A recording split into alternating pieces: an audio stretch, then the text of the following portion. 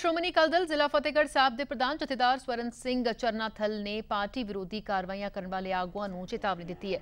ਅਤੇ ਸ਼੍ਰੋਮਣੀ ਅਕਾਲੀ ਦਲ ਨੂੰ ਖੋਰਾ ਲਗਾਉਣ ਅਤੇ ਪਾਰਟੀ ਵਿਰੋਧੀ ਕਾਰਵਾਈਆਂ ਨੂੰ ਲੈ ਕੇ ਜ਼ਿਲ੍ਹਾ ਫਤਿਹਗੜ੍ਹ ਸਾਹਿਬ ਦੇ ਨਾਲ ਸੰਬੰਧਿਤ ਹਲਕਾ ਬੱਸੀ ਪਠਾਣਾ ਦੇ ਸਾਬਕਾ ਵਿਧਾਇਕ ਜਸਟਿਸ ਨਿਰਮਲ ਸਿੰਘ ਸਮੇਤ ਜ਼ਿਲ੍ਹਾ ਫਤਿਹਗੜ੍ਹ ਸਾਹਿਬ ਦੇ ਦੋ ਸ਼੍ਰੋਮਣੀ ਅਕਾਲੀ ਦਲ ਦੇ ਸੀਨੀਅਰ ਅਹੁਦੇਦਾਰਾਂ ਨੂੰ ਪਾਰਟੀ ਦੀ ਮੁੱਢਲੀ ਮੈਂਬਰਸ਼ਿਪ ਤੋਂ ਬਰਖਾਸਤ ਕਰ ਦਿੱਤਾ ਹੈ। ਜਥੇਦਾਰ ਸਵਰਨ ਸਿੰਘ ਚਰਨਾਥਲ ਨੇ ਕਿਹਾ ਕਿ ਸ਼੍ਰੋਮਣੀ ਅਕਾਲੀ ਦਲ ਦੇ ਖਿਲਾਫ ਕਾਰਵਾਈਆਂ ਕਰਨ ਵਾਲਿਆਂ ਨੂੰ ਬਖਸ਼ਾ ਨਹੀਂ ਜਾਵੇਗਾ। ਉਨ੍ਹਾਂ ਕਿਹਾ ਕਿ ਵਿਧਾਨ ਸਭਾ ਹਲਕਾ ਬੱਸੀ ਪਠਾਣਾ ਤੋਂ ਸਾਬਕਾ ਵਿਧਾਇਕ ਜਸਟਿਸ ਨਿਰਮਲ ਸਿੰਘ, ਸ਼੍ਰੋਮਣੀ ਅਕਾਲੀ ਦਲ ਦੇ ਜ਼ਿਲ੍ਹਾ ਸਕੱਤਰ ਜਨਰਲ ਲਖਵੀਰ ਸਿੰਘ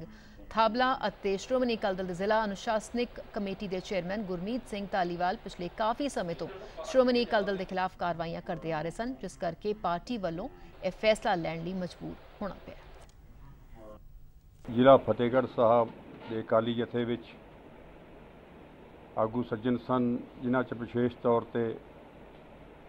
ਸਰਦਾਰ ਲਖਵੀਰ ਸਿੰਘ ਜੀ ਥਾਪੜਾ ਸਾਹਿਬ ਤੇ ਸਰਦਾਰ ਗੁਰਮੀਤ ਸਿੰਘ ਜੀ ਢਾਲੀਵਾਲ ਸਾਹਿਬ ਔਰ ਬਸੀ ਪਠਾਣਾ ਹਲਕਾ ਤੋਂ ਸਾਬਕਾ ਐਮਐਲਏ ਜਸਟਿਸ ਨਿਰਮਲ ਸਿੰਘ ਜੀ, ਉਹ ਕਾਫੀ ਦੇਰ ਤੋਂ ਤਕਰੀਬਨ 6-7 ਮਹੀਨਿਆਂ ਤੋਂ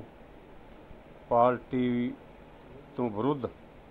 ਉਹਨਾਂ ਦੀਆਂ ਗਤੀਵਿਧੀਆਂ ਜਿਹੜੀਆਂ ਚੱਲ ਰਹੀਆਂ ਸਨ ਔਰ ਕਈ ਵਾਰੀ ਉਹਨਾਂ ਨੇ ਐਸੇ ਬਿਆਨ ਵੀ ਦਿੱਤੇ ਜੋ ਸ਼੍ਰੋਮਣੀ ਅਕਾਲੀ ਦਲ ਦੇ ਪ੍ਰਧਾਨ ਸਾਹਿਬ ਨੂੰ ਦੇ ਨਾਂ ਤੇ ਉਹ ਉਹਨਾਂ ਨੇ ਬਿਆਨ ਦਿੱਤੇ ਔਰ ਇਹ ਸਾਰੀਆਂ ਗੱਲਾਂ ਨੂੰ ਜੋ ਉਹਨਾਂ ਨੇ ਪਾਰਟੀ ਵਿਰੋਧੀ ਕਾਰਵਾਈਆਂ ਕੀਤੀਆਂ ਨੇ ਜਾਂ ਕਰ ਰਹੇ ਨੇ, ਉਹਨਾਂ ਨੂੰ ਮੁੱਖ ਰੱਖਦਿਆਂ ਹੋਇਆਂ ਮੈਂ ਬਤੌਰ ਜ਼ਿਲ੍ਹਾ ਫਤਿਹਗੜ੍ਹ ਸਾਹਿਬ ਦੇ ਸ਼੍ਰੋਮਣੀ ਅਕਾਲੀ ਦਲ ਦੇ, ਅਕਾਲੀ ਦਲ ਦੇ ਪ੍ਰਧਾਨ ਹੋਣ ਦੇ ਨਾਤੇ ਮੈਂ ਉਹਨਾਂ ਨੂੰ ਮੁੱਢਲੀ ਮੈਂਬਰਸ਼ਿਪ ਤੋਂ ਔਰ ਮੈਂ ਉਹਨਾਂ ਨੂੰ ਸਦਾ ਲਈ ਖਾਰਜ ਕਰਦਾ। ਮੈਂ ਸਮਝਦਾ ਵੀ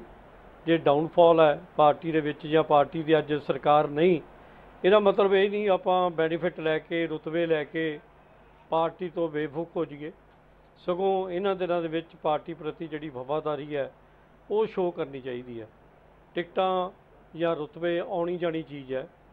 ਜੇ ਤੁਹਾਨੂੰ ਬੱਸੀ ਪਠਾਣਾ ਤੋਂ ਨਹੀਂ, ਚਮਕੌਰ ਸਾਹਿਬ ਤੋਂ ਟਿਕਟ ਦਿੱਤੀ, ਫਿਰ ਵੀ ਪਾਰਟੀ ਨੇ ਮਾਨ ਤੇ ਸਤਿਕਾਰ ਰੱਖਿਆ ਸਾਧ ਸੁਖਬੀਰ ਸਿੰਘ ਬਾਦਲ ਨੇ। ਅੱਜ ਪਾਰਟੀ ਦੀ ਪਿੱਠ 'ਚ ਛੁਰਾ ਮਾਰ ਕੇ ਜੇ ਆਪਾਂ